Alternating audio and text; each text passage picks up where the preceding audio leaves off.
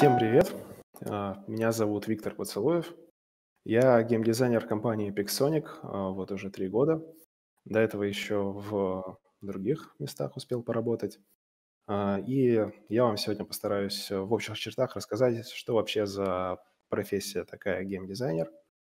Соответственно, чем они занимаются, потому что когда я только устраивался, у меня было уже какое-то представление о профессии, оно немного отличалось от а, того, чем они занимаются на самом деле.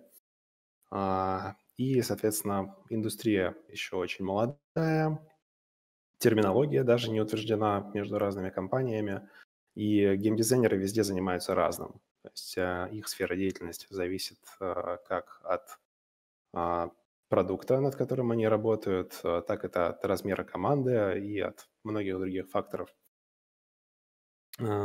Соответственно, если у вас есть какие-то вопросы, задавайте их мне, можно в Дискорде, я их там увижу, можно в чате Твича.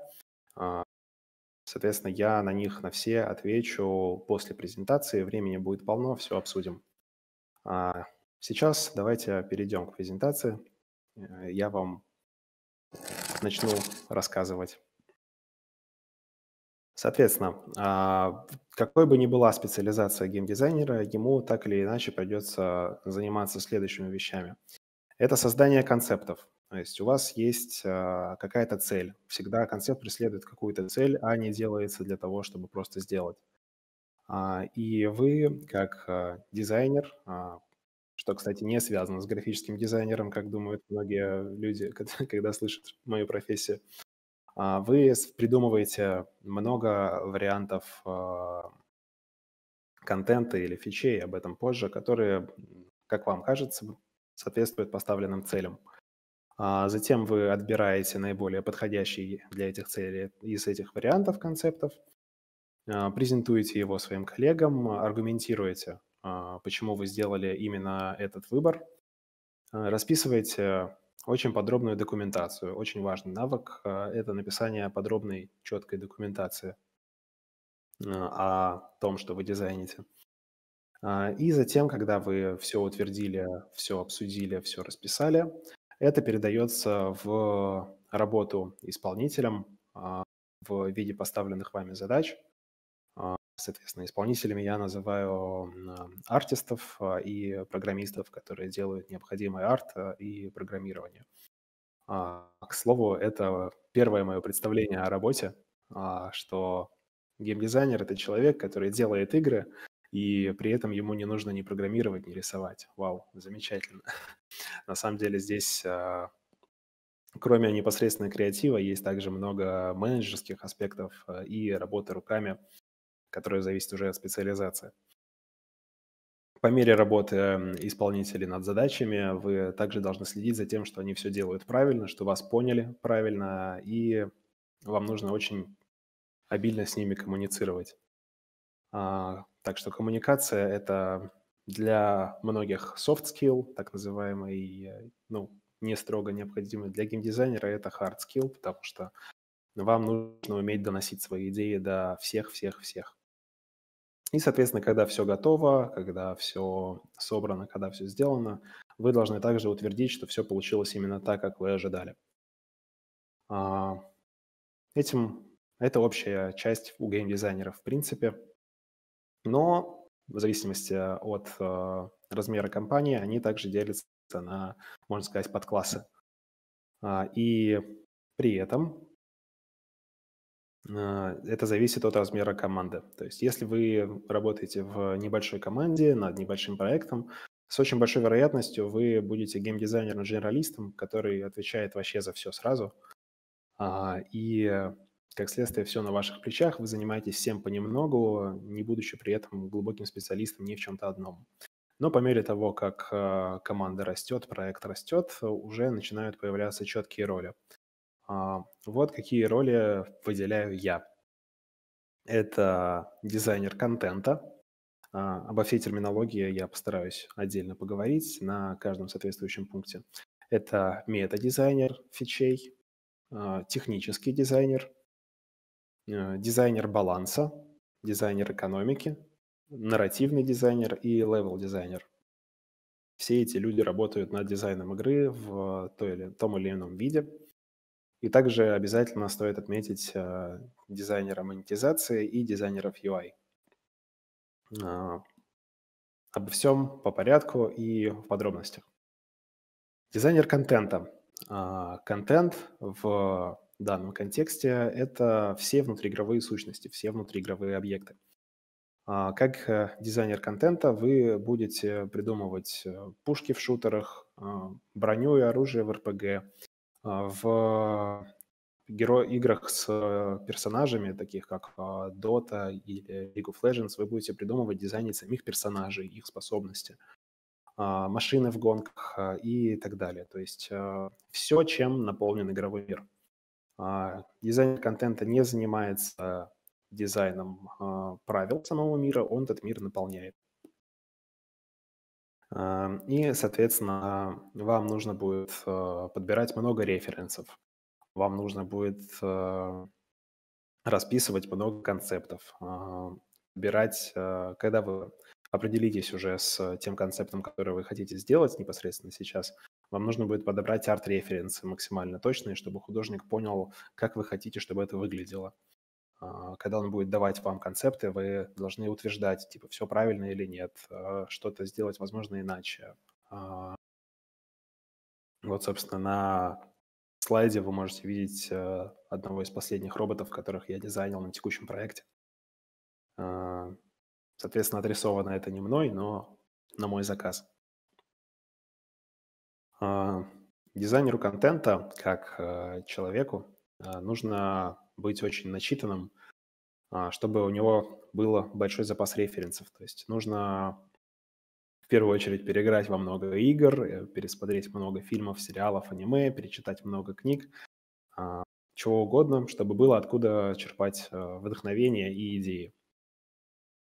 Соответственно, это непосредственно это очень креативная должность, где очень много а, будет теоретической работы, где вы будете именно концептировать, обсуждать, концептировать, обсуждать. А, но также присутствует и рутинность, потому что когда вы уже определились точно концептом, нужно расписать документацию а, очень подробно. Вообще расписание документации – это общая часть у всех дизайнеров. А, и нужно уметь делать это грамотно, грамотно разбивать документы, грамотно описывать разные части, но конкретно это презентация не об этом. А, это дизайнер контента. А, противопоставить ему можно мета-дизайнера фичей. А, теперь о терминологии. Мета – это все, что не core. Core – это основная суть, это ядро вашей игры. Очень наглядно это можно продемонстрировать на гонках. Вот сам матч гоночный, а, сам заезд э, по трассе, гонки с соперниками и вот э, все, что там 3, 2, 1 поехали и до финиша, это все кор а, игры. А, соответственно, все, что не кор, это мета. То есть на примере гонок же прокачка машины, тюнинг машины, зарабатывание там, возможно, с помощью кора каких-то предметов, все лидерборды, все, что ставит игроку долгосрочные цели, отображает их исполнение и удерживает его в игре, это все мета. То есть э, это все то, а, благодаря чему игрок не отыграл один, один раз вашу игру, ну все, я здесь все увидел, закрыл, и больше никогда не открывал. Это все то, что помогает игроку возвращаться, что удерживает его интерес и делает э, вашу игру полноценным продуктом, а не одноразовой небольшой игрушкой. А, соответственно, мета-дизайнер, да, слово мета вообще очень многогранное, имеет много смыслов, э, абсолютно разные в разной компании. А, соответственно, что такое мета здесь, я передал. А, мета-дизайнер фичей, он занимается, по сути, тем же, чем контентный геймдизайнер, но более абстрактно. Вместо конкретных единиц контента, он э, дизайнит э, функционал, он дизайнит э, вот все лидерборды, как они примерно должны выглядеть, что на них должно отображаться, по каким правилам они работают, а, какие-то еще сторонние активности, может быть, мини-игры, а, все вот это вот, всем этим занимается мета-дизайнер. а, как а, мета-дизайнеру вам понадобится заниматься, по сути, тем же, чем и контентному, но в более абстрактной стезе, если вы думаете, если вы любите придумывать именно системы и как именно что-то работает, а, то есть больше про общие правила, то вам наверняка понравится мета-дизайн фичей. Дальше по списку у нас идет технический дизайнер. А, чем занимается технический дизайнер? Все игры так или иначе сделаны на каком-то движке. Это может быть Unity, это может быть Unreal Engine, это может быть Source, а, это может быть а, Flash, это может быть что-то ваше домашнее, то есть сделанное в вашей компании. Э, и вот вы, как дизайнер контента, создаете, дизайните контент, например. Ваш контент когда вы уже его утвердили, идет на работу программистом для реализации всего необходимого функционала, идет в арт-отдел для реализации моделей, текстур, а, анимаций, а, всего вот этого вот. Соответственно, когда ребята в этих отделах заканчивают свою работу, они отдают вам обратно функционал, арт, а, это модели, анимации, текстуры. И Собирает это все никто иной, как технический дизайнер.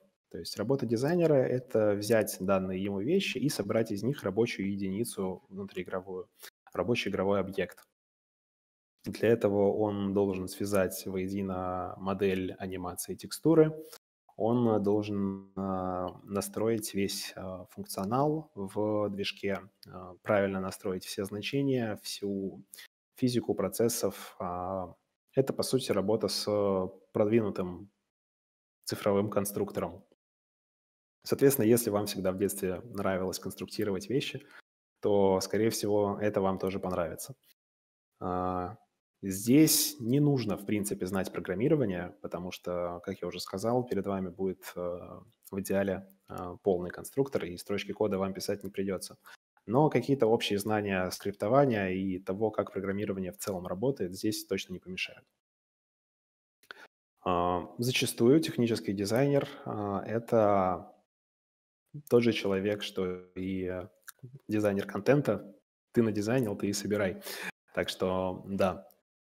Но порой это выделено в отдельную должность. Соответственно, ему надо также по факту сборки много отыгрывать плейтестов, проверять, что все работает именно так, а, как он настроил, что все работает именно так, как было изначально заложено дизайном а, и так далее и тому подобное. А, также ему надо будет настраивать все, что настраивается, допустим, на сервере в админках, если это не отражено в редакторе движке. Дизайнер баланса – это человек, который отдельно зарывается в цифры. А, как мы с вами знаем, в играх вообще очень много цифровых значений.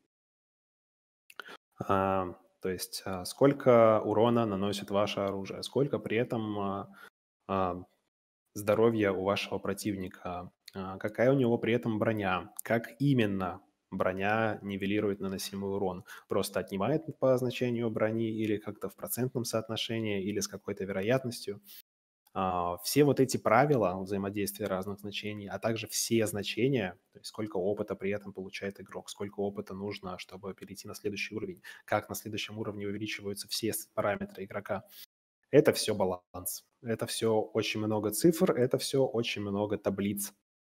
И здесь же математика как наука именно в вопросах формул, то есть как а, все эти значения взаимодействуют между собой. А, самый верный инструмент дизайнера баланса – это Google Sheets и Excel. А, соответственно, понимание того, как они работают, знание базовых формул в этих инструментах – это то, что нужно для дизайнеру баланса для работы. А, по совместительству этим занимаются, в принципе, и начинающие э, геймдизайнеры, потому что это все, естественно, очень монументальная задача при первоначальной разработке игры. Но когда начинающий человек приходит на готовый проект, что, в принципе, самый простой вариант, э, потому что при создании нового проекта нужны люди опытные, а, то там, как правило, уже есть какой-то баланс, уже есть готовые забаланшенные единицы контента, которые можно использовать как бенчмарки для своего баланса. То есть баланс относительно их по всем параметрам. Это гораздо менее монументальная задача, она проще, и ей можно научиться начинающему человеку. Но на этом цифры не заканчиваются. Есть дизайнер экономики – Дизайнер экономики– это человек, который в ответе за внутриигровую экономику. То есть это прибыль и убыль игроков, их э, золото, предметов, э, дропов. С какой вероятностью дропы падают, то есть сколько ну, в приближении понадобится ресурсов потратить на непрямое получение для того, чтобы выфермить что-либо. Как э, вещи крафтятся, сколько стоит скрафтить какую-то вещь, есть ли вероятность того, что все ресурсы потеряются и крафт будет неуспешным и так далее и тому подобное. То есть э, экономика может быть э, относительно простой, и тогда это, скорее всего, будет делать опять-таки дизайнер баланса. Но если в э, вашей игре она хоть сколько-то значимая, то это, скорее всего, будет уже отдельная должность. А вам, как игроку, точнее, как дизайнеру экономики, важно будет также работать с аналитикой по вашей игре, то есть все хорошо может быть на бумаге, но на самом деле игроки копят много каких-то ресурсов и, соответственно, ни в чем не нуждаются. А, в таком случае вам нужно следить э, на аналитических данных по общим накоплениям игроков, а, по тому, сколько они тратят, по тому, сколько они копят, а, из каких источников они в первую очередь это получают. Может быть, они нашли где-то очень оптимальный способ фармить, а, который не был вами предусмотрен, и теперь они с полпинка могут покупать самый крутой шмот в игре. Это, конечно, доставляет игроку кучу удовольствия, но при этом ему довольно быстро наскучивает игра, и он ее дропает. Соответственно, если игрок может вот так вот взять короткий путь до финального контента, то игра становится неинтересной, непопулярной, и люди из нее ливают.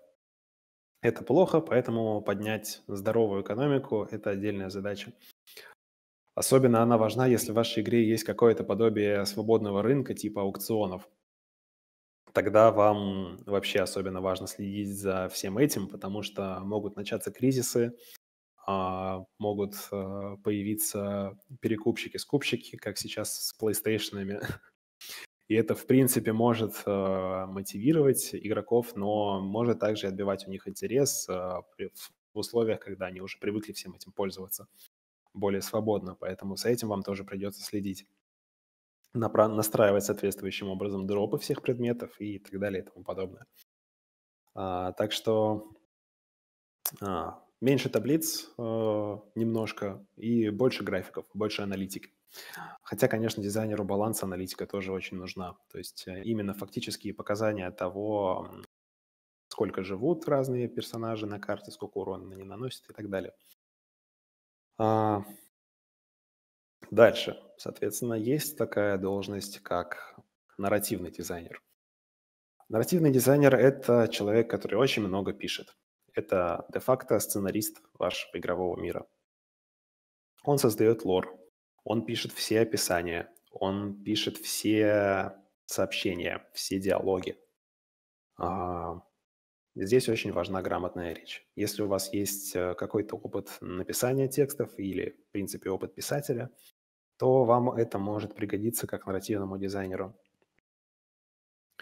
Справедливости ради стоит отметить, что на эту работу не часто берут э, начинающих людей без опыта, потому что если э, игровой мир настолько сюжетен, настолько сложен, что там нужен отдельный нарративный дизайнер, то туда, скорее всего, берут опытных людей. А, и учиться нарративному дизайнеру, как-то не парадоксально, нужно на должности, э, на проекте, где нет отдельного нарративного дизайнера. А, потому что если это не слишком сюжетный проект, а, то за написание всех соответствующих текстов отвечают э, другие дизайнеры. Это дизайнеры контента и дизайнеры фичей. А, соответственно, дизайнеры контента пишут сами описания для своих контентов. Все дизайнеры фичей пишут сами все тексты, которые там участвуют. Это, соответственно, также включает в себя работу с локализациями, переводами, отслеживанием того, чтобы все было грамотно. А, и когда вы научились а, писать, работая над чем-то другим, можно уже проявить себя и попробовать устроиться на нарративного дизайнера. Тут гораздо больше писанины, чем в других местах. А, конец, отдельная, вот прям самая часто выделяющаяся в отдельную должность, э, должность – это левел-дизайнер. Левел-дизайнер – это человек, а, который на, буквально на кубах создает разные внутриигровые карты. А, то есть вот как вы можете видеть на скриншоте, это прототип а, карты из нашего проекта. Здесь нет текстур, здесь нет красивостей, здесь важен функционал. То есть левел-дизайнер в ответе за создание всего окружения, за все стратегические точки, все укрытия, а, все точки спавна противников, а, все точки спавна таких предметов, как аптечки, патроны. Все это должно быть грамотно расположено в окружении, чтобы можно было стратегически обойти игрока, отойти за аптечкой, а, все это должно быть э, плавно играться. А если ваша игра – это матчи между двумя командами, то их начальные условия должны быть равны. Это тоже отдельная наука. Если у вас случайно игроки спавнятся слева или справа, и при этом по статистике правые выигрывают в 70% случаев, то у вас плохо задизайненный уровень.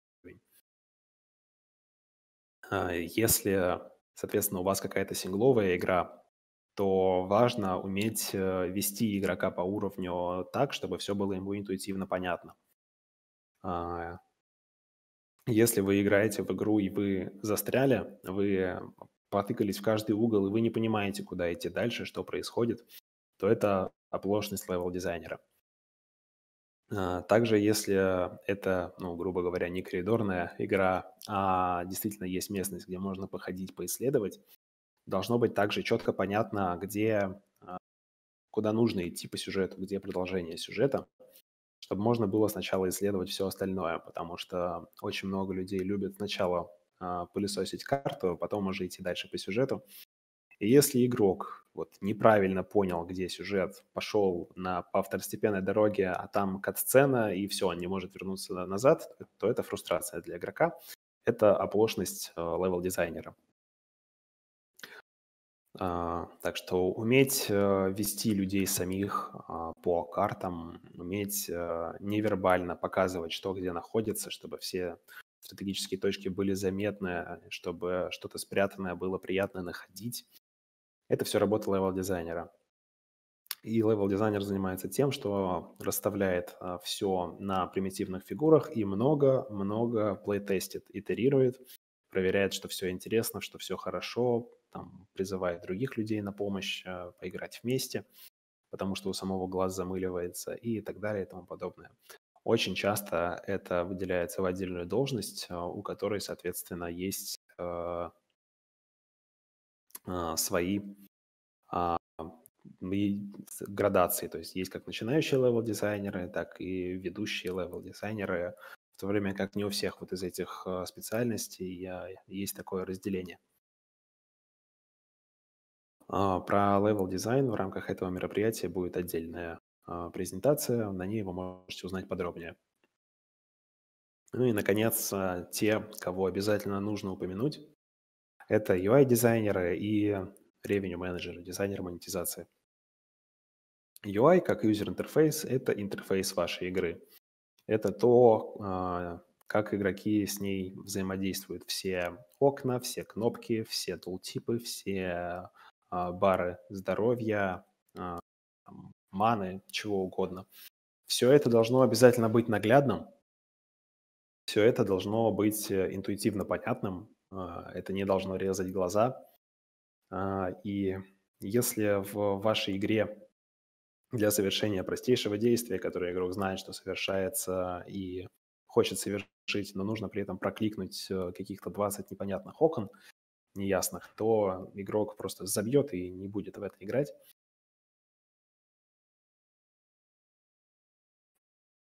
Вообще очень важно вести параллельно разработку какой-то фичи вместе с UI-дизайнером. а, потому что если фича дизайнится без учета UI или хотя бы приблизительных макетов, а, по которым он может утвердить, то есть высокая вероятность, что вы сделаете что-то не так.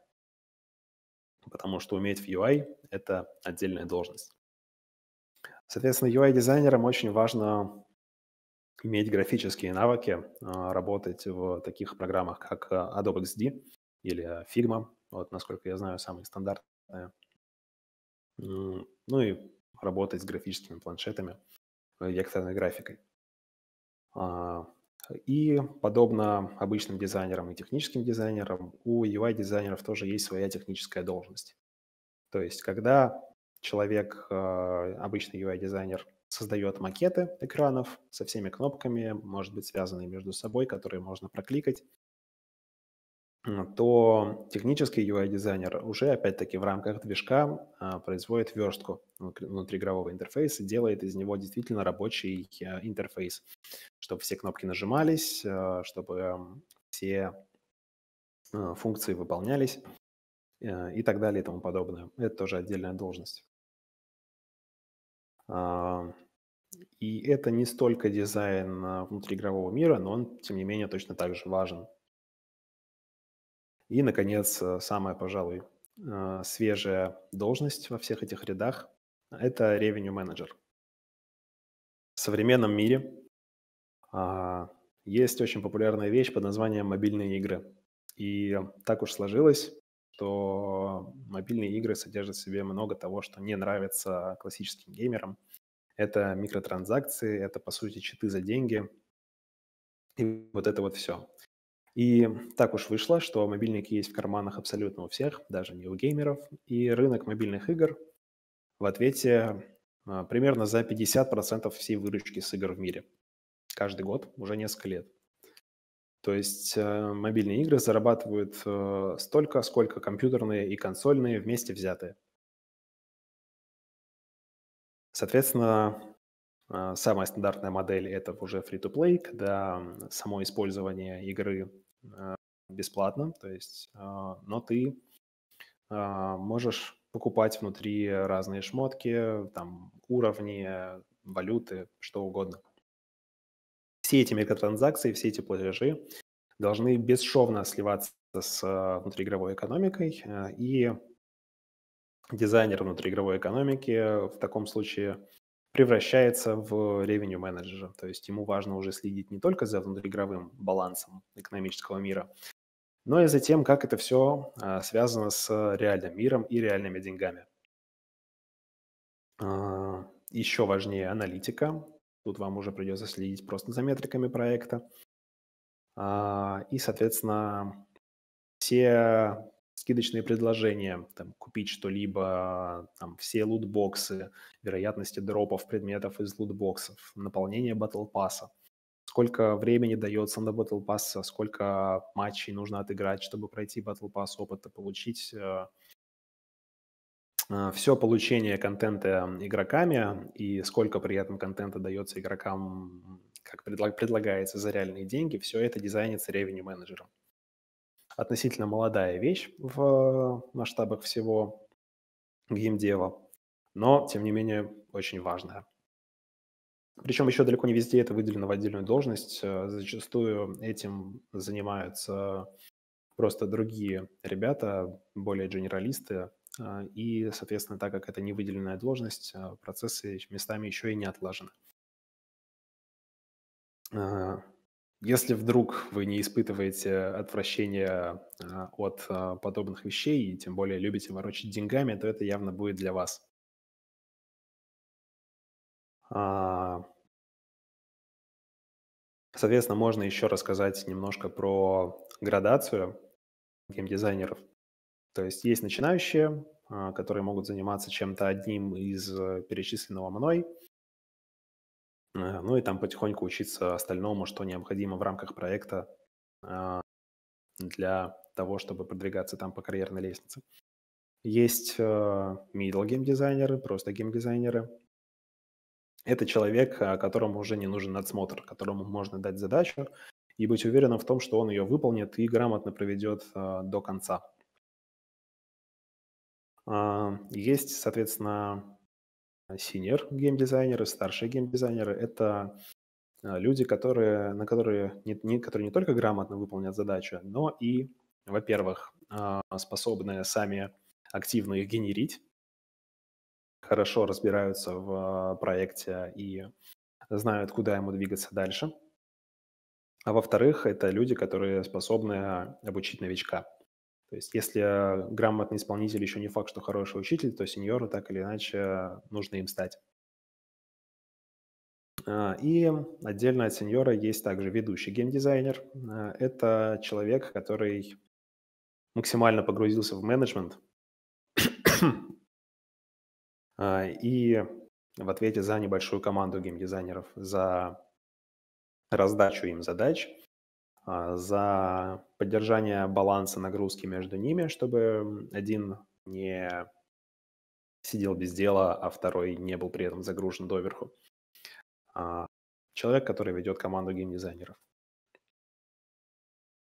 А, примерно вот такие вот а, могут быть градации. Ну и в частности у левел-дизайнеров они прям по всем уровням отдельные. В то время как может не быть старшего нарративного дизайнера, потому что, ну, он может быть всего один старший, ему не нужны при этом медлы и младшие. Вот примерно все, что я могу вам рассказать э, в общих чертах про профессию и разные ее виды. А, конечно, это далеко не все, и обсуждать можно очень много, но в рамках этой презентации я закончил. И давайте теперь перейдем к вопросам. А, насколько необычным референсом спикер однажды вдохновился для создания чего-то? А, насколько легко и широко может простираться вдохновение. А, насколько необычным. Слушайте, ну много чем вдохновлялся. А, и МТГ, и гандамами. Ну, по своей специфике это роботы. Может, а, а, вот, самым необычным, пожалуй, чем я вдохновлялся, это китайским фэнтези. Когда я а, как метафичу ввел а, ивент на лунный Новый год в нашей игре. Это, соответственно, Новый год, который отдельно празднуется в азиатских странах. Я для контента в ивент черпал вдохновение в китайском фэнтези. Я зачитывался этими книгами в свое время в университете. А, и это относительно уникальная а, вещь, в которой не разбираются другие, которая мне однозначно помогла сделать успешный ивент. Так что даже если вы читаете какую-то нишевую литературу, это может вам сыграть на руку. Почему разработка игр в России сейчас не особо популярна? Пятый герой, Корсара, Лоды. Да, замечательные вещи, засиживался. А, ну, здесь сразу идет а, смещение, так сказать, а, приоритетов. Разработка игр в России сейчас популярна. А, не популярна разработка полноценных пейдовых проектов. А вот мобильных игр очень и очень много. И а, можете считать, что я предвзят, но мобильный геймдев – это такой же геймдев. Здесь все те же правила, хотя, конечно, имеется смещение по роду деятельности. А, нужно учитывать уже и другие вещи, которые в пейдовых проектах не учитываются. А в целом я могу сказать, что полноценные, так сказать, проекты, а, которые а, ну, в духе пятых героев, а, Корсара, Фалот, они требуют значительных инвестиционных вложений, потому что видеоигры – это все-таки бизнес. На самом деле инди-разработчиков-то тоже полно, которые делают пейдовые проекты, но они работают на энтузиазме, они не получают с этого значительных денег, если только вдруг игра не выстрелит. Э, но таких э, я в последнее время из России не помню, откровенно говоря. А, И все вот эти пятые герои, корсары, алоды, все делались на вложениях инвесторов. И такая уж сложилась ситуация, в том числе во всем мире, не только в России, что а, инвестиции идут в мобильный рынок, потому что он гораздо более выгодный по соотношению вложенных усилий и полученной прибыли.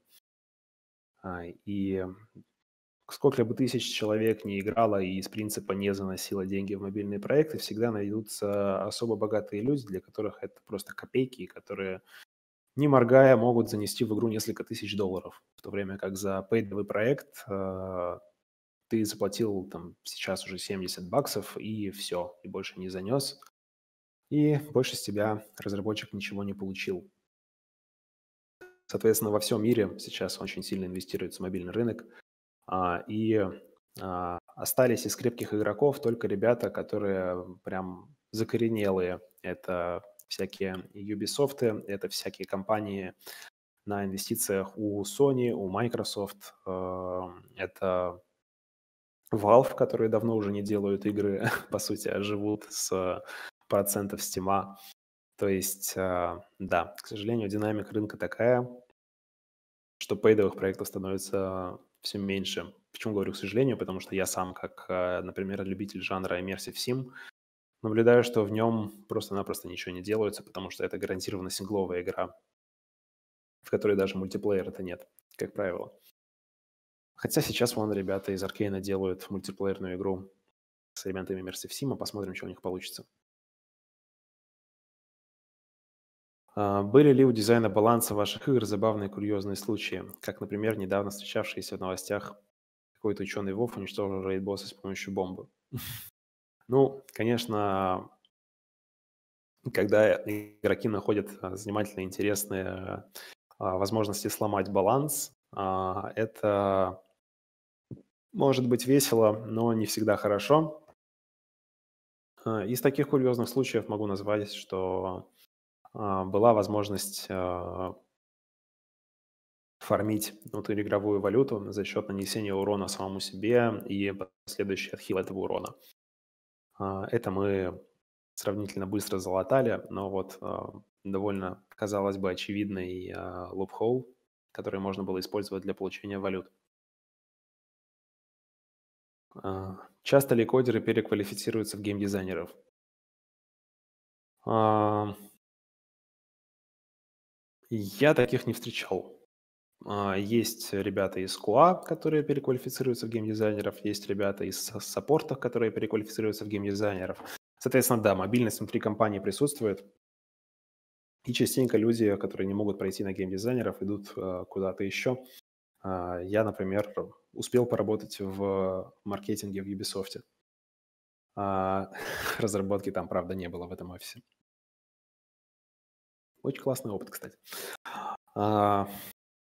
Кодеров редко встречал. Кодеры, они на вес золота, а, и, как правило, им а, по разным соображениям нет смысла переквалифицироваться.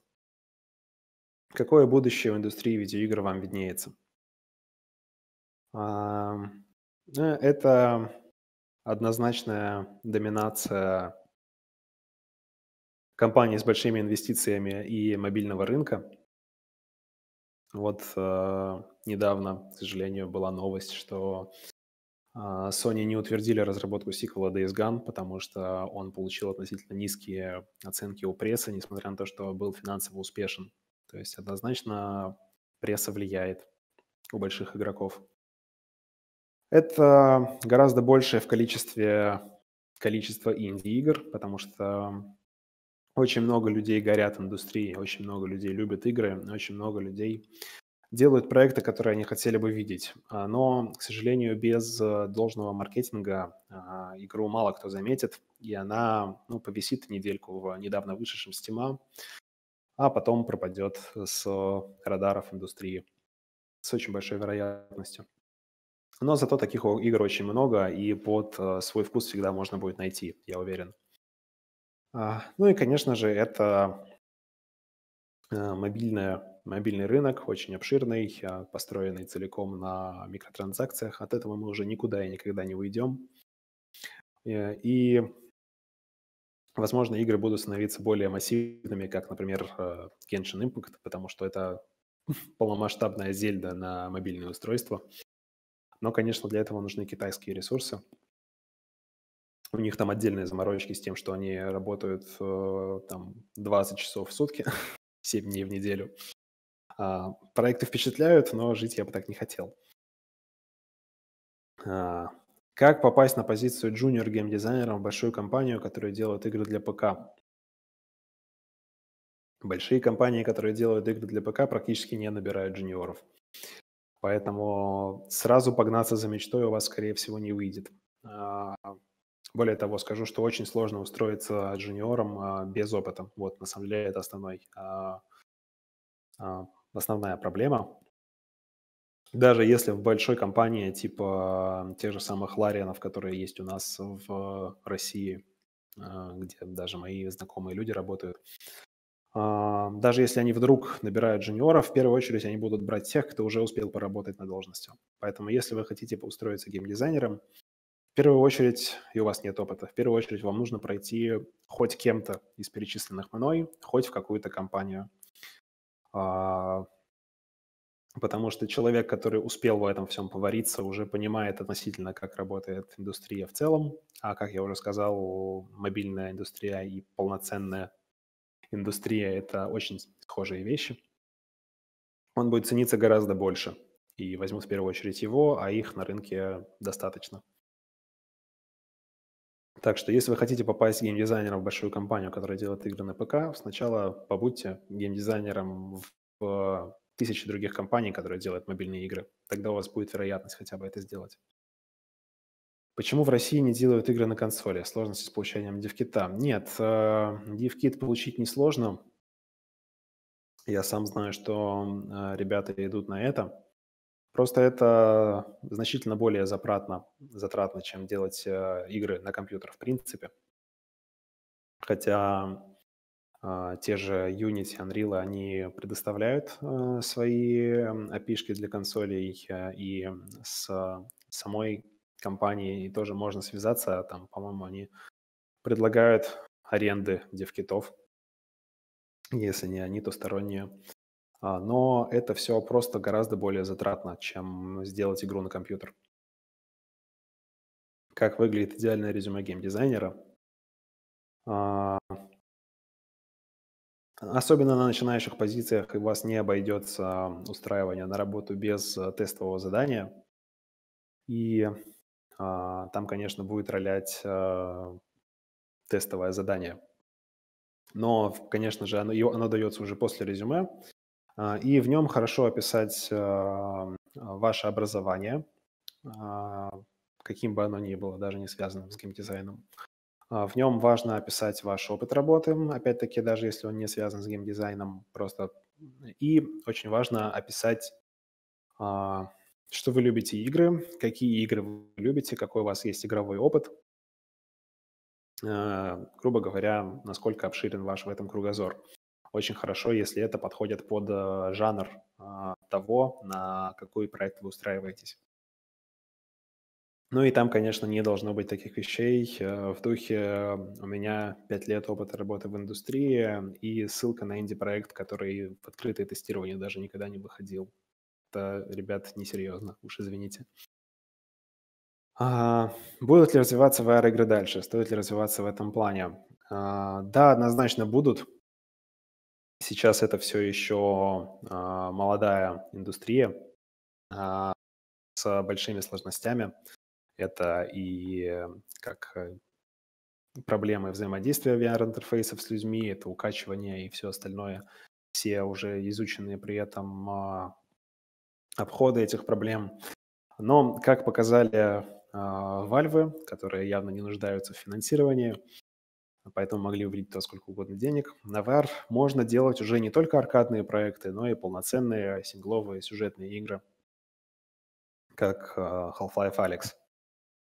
Это прям, хоть и небольшая по времени, но игра-игра. И я уверен, что как они делали раньше, они показали, что это возможно, и это явно будет появляться на рынке. Но, конечно, Это все еще сделать гораздо сложнее, потому что сама технология еще молодая, не отлаженная. Мало у кого есть девкиты под VR, поэтому процент таких проектов будет мал, но он будет расти с ростом самой технологии. Игроков нужно использовать, доказывать за использование багов, которые вы долго не можете починить. А, если это баги, ломающие баланс, ломающие честноту вашей игры, и вы знаете о их существовании, и вы не можете пока что их предотвратить, э, да, однозначно нужно наказывать игроков, предварительно по всем каналам предупредить, что вы знаете о таком баге, вы не одобряете то, как, как он влияет на игру, и вы будете отлавливать и карать тех, кто это делает. Это однозначно делать надо, чтобы максимально поддерживать э, честные условия в игре. А, при этом я а, не поддерживаю баны за модификацию сингловых игр, как это, например, делают в GTA. Да, там, конечно, есть онлайн-составляющая, но они за моды даже в сингле банят. Это немножко несерьезно, я считаю. Сценаристы работают в команде, человек 10-15 или небольшая группа. Также сложно, устроить, сложно ли устроиться на работу сценаристу. А, я думаю, что в особо больших и особо сюжетных играх, а, таких как, например, а, визуальные новеллы, где это тупо много-много сюжетов, может быть больше одного сценариста, конечно. Потому что это, по сути, основной дизайн этой игры, который в ней есть. И Соответственно, небольшие группы там а, могут работать, и, возможно, даже большие. Я, честно говоря, не работал над визуальными новеллами, я знаю таких людей, но у меня такого опыта нет, так что а, подробнее я не расскажу. Хотя на первой своей работе я занимался, по сути, написанием квестов в больших количествах. Но туда, туда было несложно устроиться. Я бы не назвал это прям сценаристом, но устроиться было несложно. Ну и если у вас уже есть опыт работы с сценаристом, то вас, э, скорее всего, с э, руками оторвут, а вот на начинающему, на полноценного сценариста пройти будет сложно. На нарративщика, как я, собственно, говорил.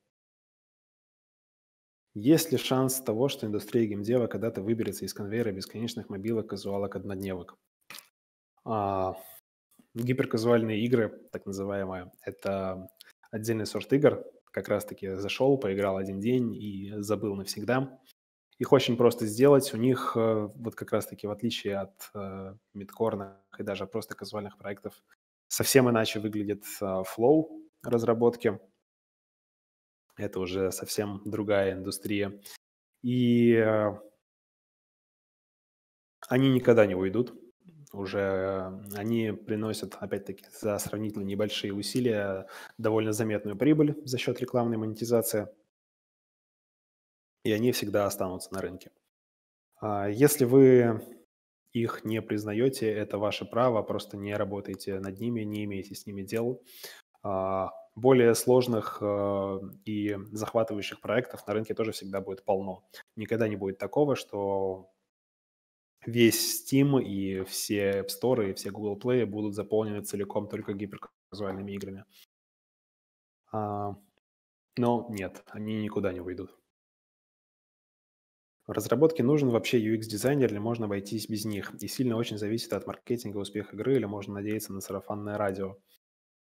А, UX-дизайнер однозначно нужен. А, это, как правило, опять-таки ребята из UI, потому что они отвечают, как я вот рассказывал, за опыт игрока в реализации фичей, за то, насколько удобно фичой пользоваться. То есть она, да, вы, дизайнер фичи может э, расписать правила того, как она делается, но сделать ужасный UX, и тогда фича будет провальной.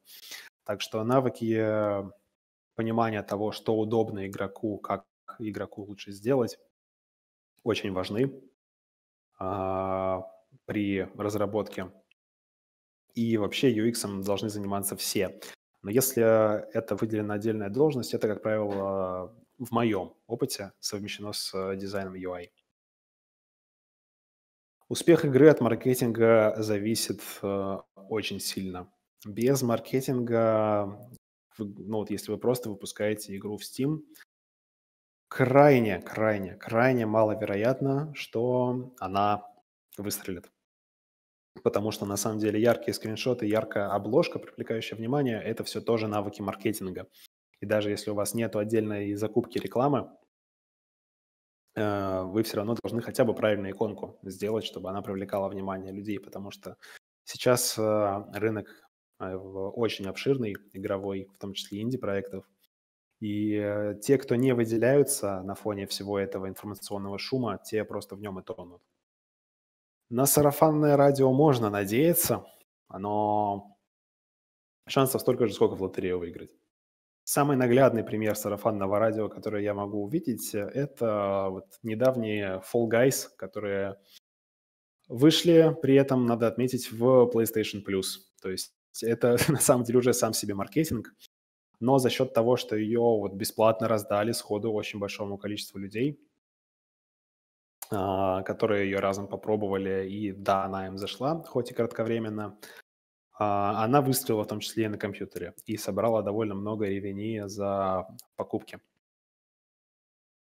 Так что сарафанное радио возможно э, и без всякой помощи со стороны, но крайне маловероятно. А если у вас есть маркетинг э, или связи в Sony, Microsoft, можете попробовать без, без маркетинга, да. А, как дистанционка влияет на разработку игр во время карантина? А, могу сказать на том, что я сейчас знаю а, по своей компании, что вот именно со стороны геймдизайнеров практически не влияет. А, да, конечно, собираться лично и обсуждать что-либо это очень удобно и экономит время. Но вот геймдизайнеры у нас а, относительно мало потеряли КПД при переходе на удаленку. А, мои знакомые коллеги из других компаний а, говорят о том, что там уже просто их компании заметили, что нормально работают на удаленке и перестали снимать офис, они теперь все на удаленке. Так что, да, сейчас, благодаря резкому коронавирусу и уходу всем на удаленку, а, у многих компаний, которые придерживались а, офисного формата работы, открылись глаза, и они стали набирать людей со всего мира. Поэтому сейчас очень высока вероятность, что какая-нибудь московская, питерская или даже зарубежная компания наймет вас на удаленку без релокации. Так что шансов устроиться в хорошую компанию сейчас стало больше благодаря удаленке. И она не слишком сильно влияет на разработку игр. А, что ж, а, большое вам спасибо за внимание. Надеюсь, вам понравилось. А, про level дизайн, про UI и также разборы нескольких игр вы можете увидеть э, далее на этом мероприятии. Большое вам спасибо. Я отключаюсь.